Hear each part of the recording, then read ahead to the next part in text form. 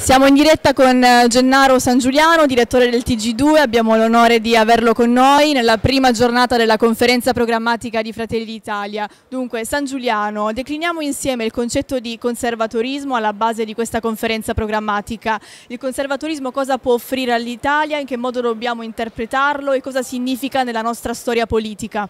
Ma il conservatorismo è prima ancora di essere una posizione politica come dire, quasi un sentimento spirituale e antropologico, è l'adesione a una visione del mondo e delle cose. Per capire cosa è stato il conservatorismo nel Novecento noi dobbiamo prendere a prestito una bellissima definizione di Giuseppe Prezzolini. Quando ci dice il progressista è la persona del domani, il conservatore è la persona del dopodomani, perché il conservatore è colui il quale è chiamato a innovare, modernizzare una società salvaguardando però i valori fondanti di questa comunità, l'idem sentire comune di questa società. Quindi una visione a cui improntare una modernizzazione sociale, economica, politica di una società partendo però dai valori identitari dell'appartenenza a questa società.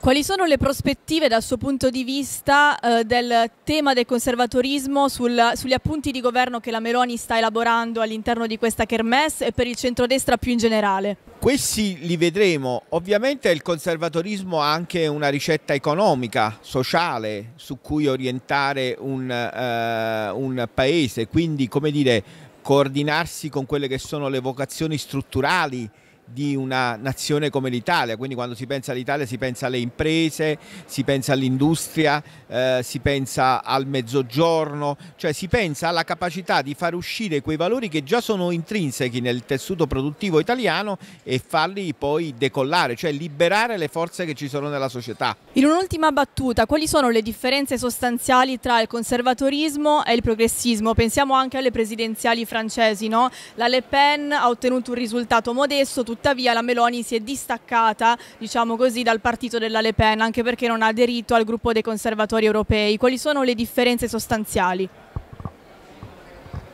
La Le Pen è un'altra cosa, non è conservatrice perché i conservatori in Francia erano i gollisti, eh, conservatore certamente era il generale de Gaulle, conservatore per certi versi era Jacques Chirac, conservatore per certi versi lo è stato anche Nicolas Sarkozy e un'altra cosa. Beh, i punti di distinguo con ehm, i progressisti sono tantissimi, sono proprio una diversa concezione dell'umano, del mondo e della vita. Il conservatore crea, eh, crede all'individuo, destinatario di diritti e di valori.